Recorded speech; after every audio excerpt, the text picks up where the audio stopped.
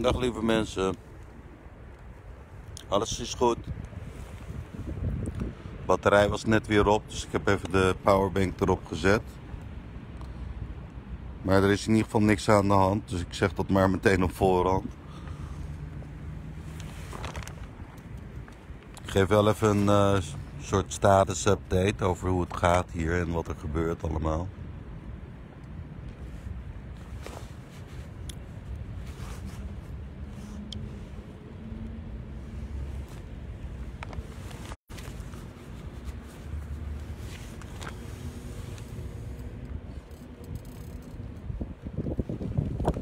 vandaag was, uh, vannacht was uh, lastige nacht voor me. Het regende, waaide hard, wind ging ook draaien. Dus wat je eigenlijk ook doet, het maakt niet zoveel uit. Die regen die slaat toch uh, bin, binnen. Ik ben niet ziek, maar ik voel me wel heel slecht. Omdat het gewoon koud is. Mijn jas is aan de binnenkant nat geworden. En, dan gaat er gewoon uh, meer kou uit je lichaam. Je, het lichaam sluit ook gewoon warmte af om dat niet kwijt te raken. Dus het begint gewoon koud te worden daardoor.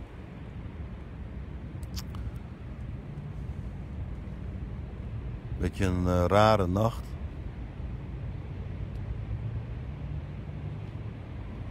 Om uh, 4 uur, 5 uur geloof ik ben ik wakker geworden omdat het gewoon te koud werd. En daarna heb ik maatregelen getroffen om uh, de wind uh, nog wat minder naar binnen te slaan. Maar het zaal is toch weer weggeblazen, dus maakt allemaal niet zoveel uit. Mijn benen zijn nog wel warm. Is een beetje een rare ochtend. Ik, uh, ik heb een beetje wat de nieuwste, de nieuwste tweets en allerlei berichten bekeken over wat er allemaal gebeurd is bij de Capitol. Nee, het is eigenlijk vrij duidelijk voor iedereen die gewoon binnen de stream zit van alternatieve media. Waarin gewoon het onafhankelijke geluid doorklinkt. Die weet gewoon nu al lang dat, uh, dat wat daar gebeurd is, dat het een setup is. Een false flag activiteit door Control Top Precision. Het is vrij simpel en helder ook, gewoon voor iedereen te zien ook. Als je dat een beetje goed bekijkt wat er gebeurd is. Uh, er zijn wat uh, demonstranten ervoor en uh, vervolgens heb je geblindeerde busjes. Die krijgen gewoon toegang tot, tot het gebouw. Er stappen wat satanisch geklede figuren uit, met tatoeages en al. Mooie foto's worden ervan gemaakt.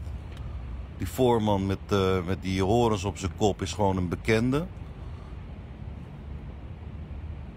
Is uh, gewoon Antifa, dat weet iedereen. Behalve de mensen die door, uh, zich door mainstream media laten influisteren. Je ziet ook al die idioten met rode mutsen. Dat is net zoals hier de Romeo's gewoon de mensen die opzettelijk uh, een conflict zeg maar, uh, op aansturen. En die worden ook gebruikt voor de geheime diensten en uh, voor, de, voor de verdedigingslinie, beveiliging. Zodat die mensen niet worden geschoten. In plaats daarvan schieten ze gewoon een onschuldige vrouw die daar gewoon meeliep naar binnen. Schieten ze dood. Dus die idioten die daar met veel geweld en uh, spierballen op de politiemensen aflopen en waar die, waar die heftige beelden vandaan komen over strijd daar binnen het gebouw, die worden gewoon met rust gelaten.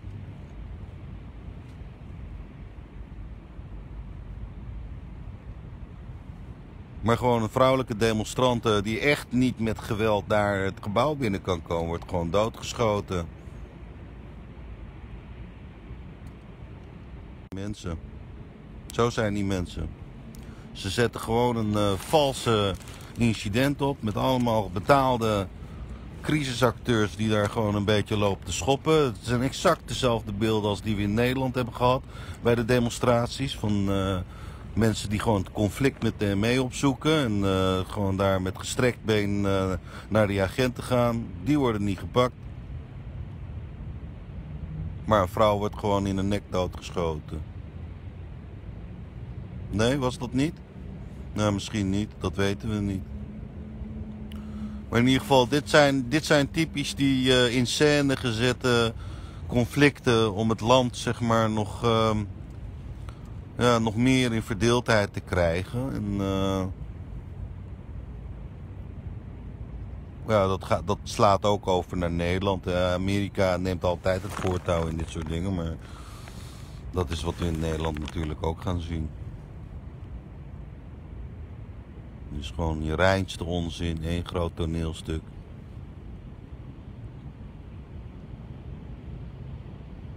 Ik heb een off day. Het is mijn dertiende dag nu.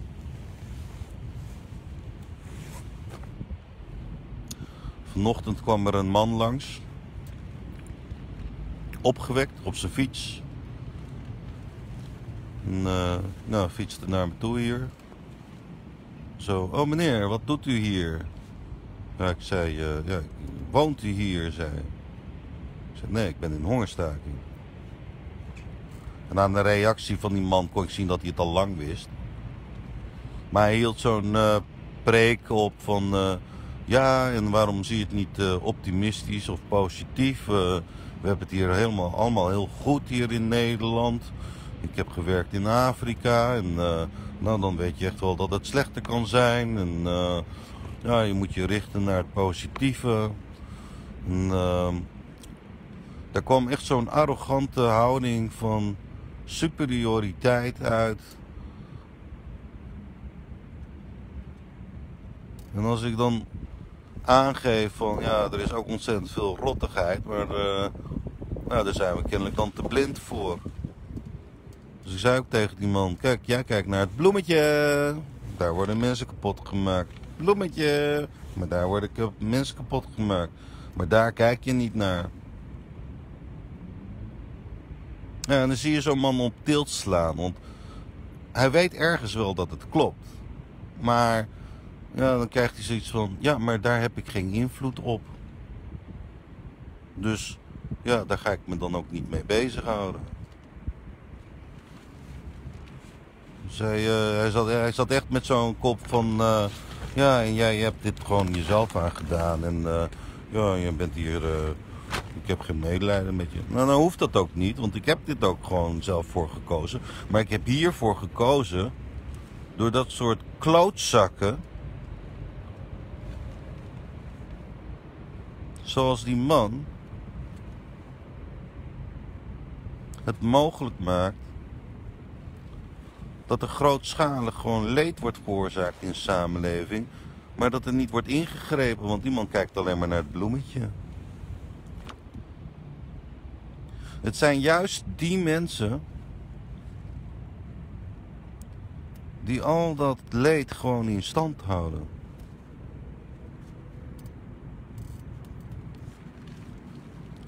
Maar ja, dat is dus ook precies eigenlijk waarom ik moeite heb met al die mensen die zeggen: ja, je moet naar het licht gaan, je moet naar het licht gaan.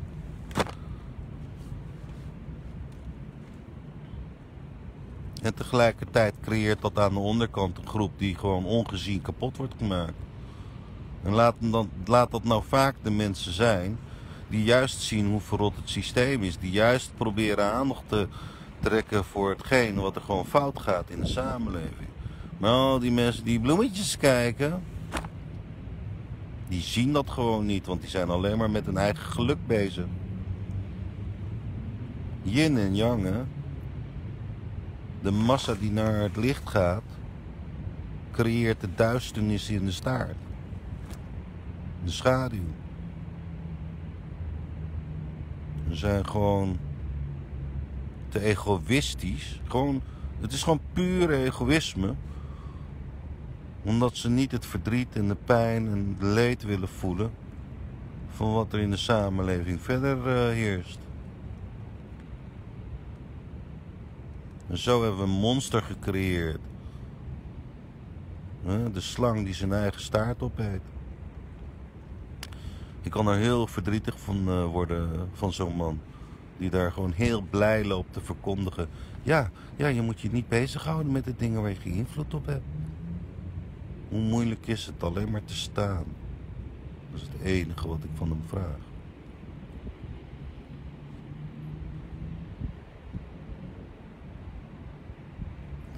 Ik heb een off day. Ik zou willen dat ik alle mensen die hier komen kan helpen met de emotie die speelt in de stap naar mij toe. Om mij te ontmoeten. Maar kan dat niet altijd. Energie is echt uh, cruciaal. Zonder energie kan ik dat ook niet.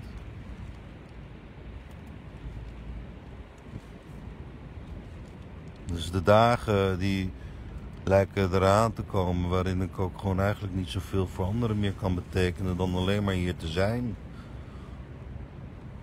En daar word ik heel verdrietig van.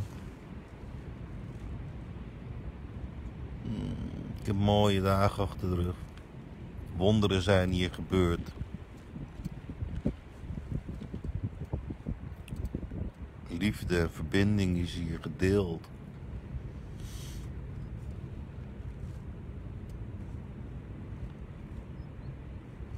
Tegelijkertijd heb ik zoveel liefde gehad dat mijn lijdensweg alleen maar langer is gemaakt.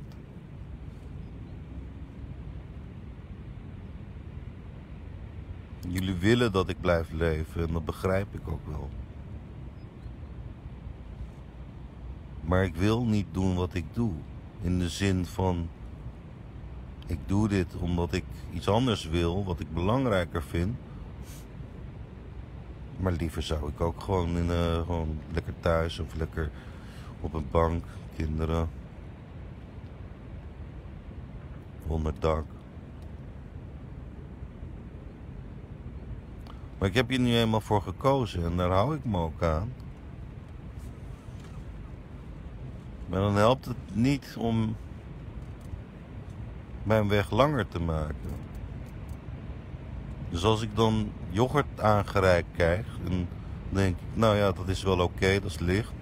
En ineens kom ik erachter dat er gewoon hele stukken chocola in zitten. Dan vind ik dat ontzettend lief.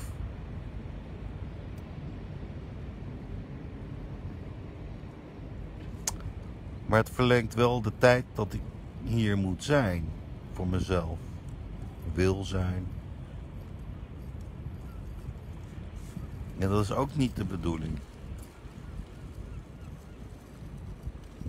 Dan krijg ik een soepje. Want dat mag nog wel van mij. Maar die is zo dik. en er zit gewoon font in. Hi. Er zit gewoon font in. Zo vet. Dat ik gewoon een hele maaltijd naar binnen krijg. Maar daarmee verlengen jullie mijn leidersweg wel met een week. Daar zit ik niet op te wachten.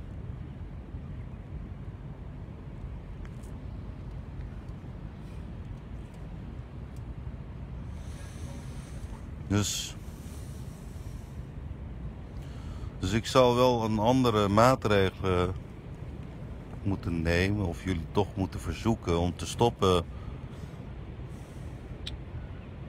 met al die liefdevolle gestes. Want ik ga het toch terugbrengen naar heldere bouillon, thee, water, wat vruchtensap en groentesap voor de vitamines. Maar dat is het ook. Het, al het andere, dat moet ik gaan afwijzen.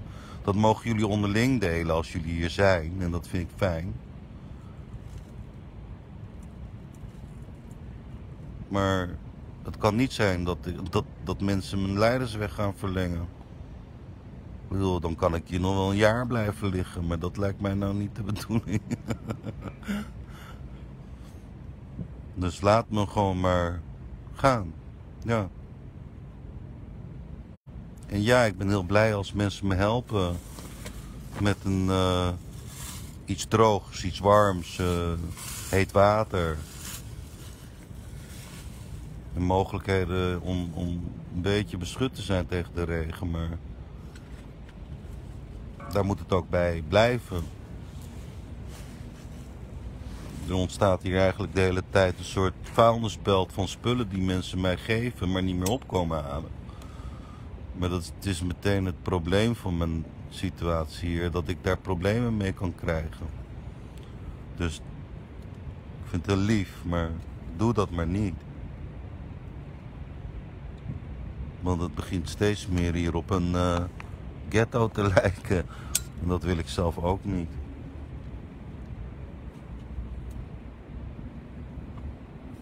Dus dat is heel lief, maar doe dat maar niet. Ik zou zeker een keertje een douche willen nemen. Daar zat ik toevallig net over te na te denken. En dat wil ik ook heel graag. Maar daarvoor heb ik uh, eh, 2 liter warm water voor nodig. Uh, ik heb een douchezak. Dus dat is een uh, mobiele douche. En die kan ik dan ophangen aan een boom of een lantaarnpaal. En dan kan ik daaronder douchen. Dus als mensen een keertje ja, 2 liter warm water mee zouden kunnen nemen, dan, dan ga ik douchen. Maar aan de andere kant, ik heb ook inmiddels wel geleefd om zonder te douchen ook gewoon door te gaan. En dat is allemaal niet zo'n heel groot probleem. En als iemand een uh, klein flacon benzine heeft, dat zou ook fijn zijn. Ik heb namelijk een, nou, een prachtige handwarmertje gekregen en die loopt op benzine. En ik heb gemerkt dat dat ding gewoon ruim 36 uur, nee 48 uur gewoon werkt. Dat is bizar. Gewoon een heel compact handwarmertje. Staal met een soort, uh, ja, soort, soort, soort lont erin wat van binnen gloeit of brandt. Maar zo langzaam dat het echt gewoon uh, ja, twee, drie dagen aan is. Die is heel fijn. Dus als ik die weer aan kan krijgen, dat zou echt wel een verschil voor mij zijn. Maar ja, zoals de meesten inmiddels wel weten, veel heb ik niet nodig. Dus ja, laat dat dan ook maar. Kom dat maar niet uh, hier allemaal brengen.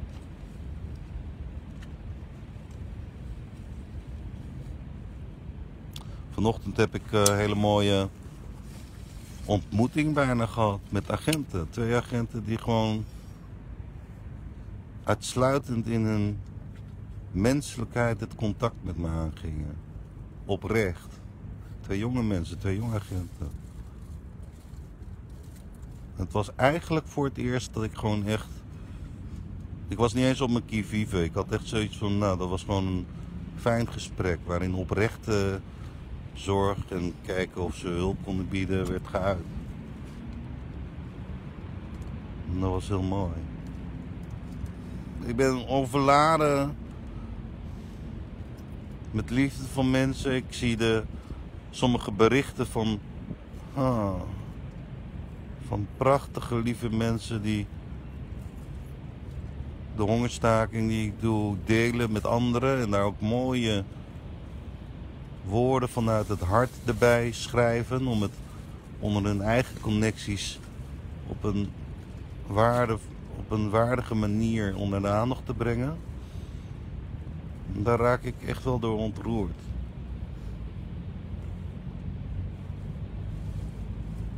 Ook, ook met begrip voor zoals ik het bedoel. Met een gepaste afstand, met gepaste.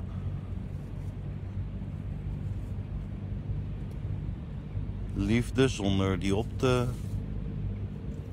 drukken, op te leggen.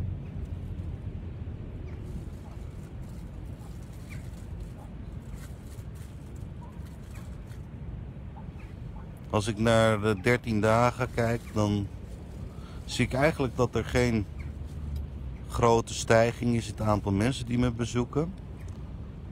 En alles komt op een manier zo bijzonder, zo perfect. Maar het gaat ook wel energetisch van hop naar her. Dan heb je mensen die volledig spiritueel zijn. En dan komt er in één klap de volgende persoon die ah, zwaar in trauma en volledig op slot zit. En dan komen er mannen die, ja, die hier dan gaan drinken. Nou, dat wil ik toch eventjes zeggen. Voor mijn eigen energetische huishouding is het voor mij heel lastig als mensen hier alcohol gaan drinken.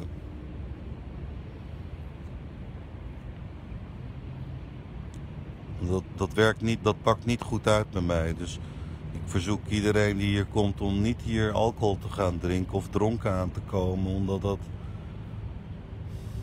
Daar kan ik niet zoveel mee en daar eh, gaat mijn energiehuishouding een beetje door de war van.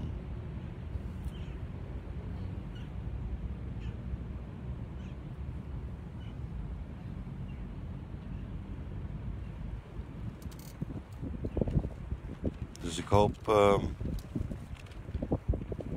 dat dat minder gebeurt. Want dat is echt wel verstorend, ook voor de mensen die hier zijn. Hoe lief het ook bedoeld is.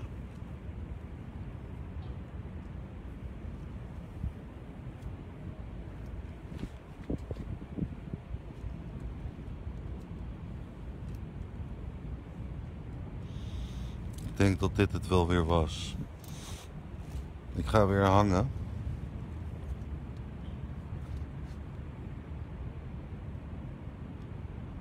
Maar ik heb gewoon een beetje een off day. Dag lieve mensen.